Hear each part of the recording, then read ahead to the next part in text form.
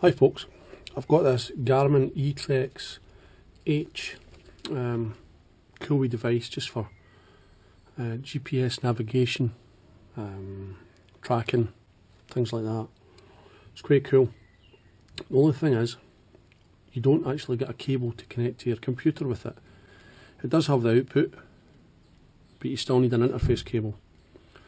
So I'm going to make one um, they're about £20 to buy, so I'm just going to make one.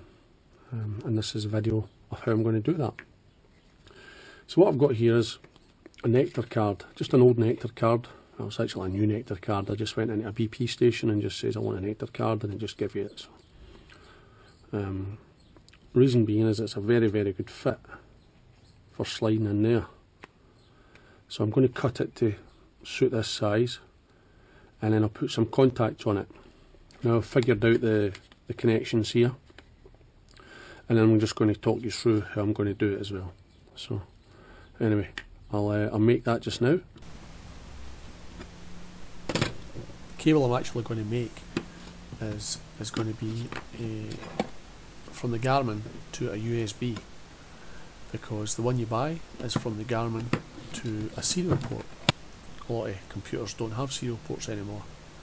So I've got a, an actual interface between a USB and serial cable and all I'm going to do is make a plug with this credit card or this card here. Any card, it doesn't matter, any plastic card, they're all about the same thickness. And make that go to the serial, a female serial port.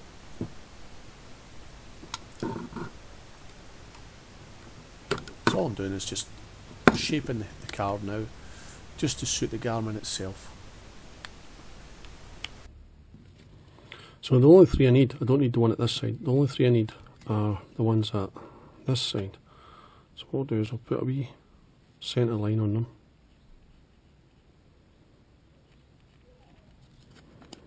Okay. The smallest drill I had wasn't very small comparison with the, the wire. So what I've done is I just got a, a pointy screw, an old pointy screwdriver, uh, heated it up and just poked it through. Just a very very tip through so I can keep the holes as small as possible.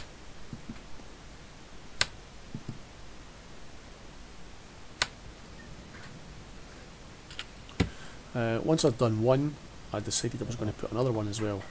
Um, and that way the contact consists of the wire going out one side and back into the same side. So it, uh, if that makes sense. You'll see in a minute in the photo anyway or here. Uh, and all I've done was because it's soldered ends are quite tough now. So I just bent the end over um, and that way it holds it in place. I then just put some uh, plastic plastic glue off a hot glue gun uh, as you can see here just to hold everything in place so it doesn't move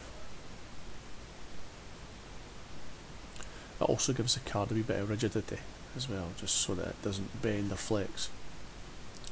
So that's one end done. I'm just going to do the other end now. And all I've done was got some really thin straws, and all it was is uh, the straws from aerosols, just for directing the flow.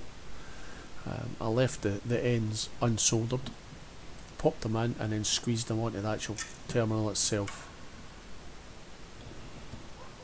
Uh, you'll see what terminals are used shortly. I only done three because I wasn't going to be using it as a, a charging point.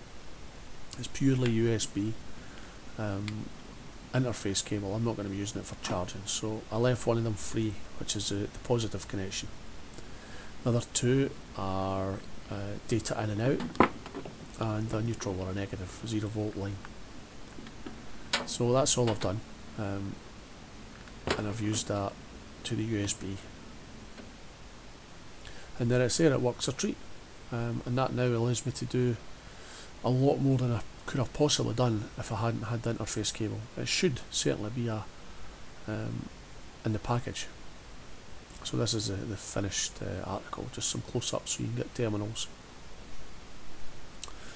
And as I said earlier, it allows me to do all kinds of things now, and I saved myself £25 doing that. It took me about an hour.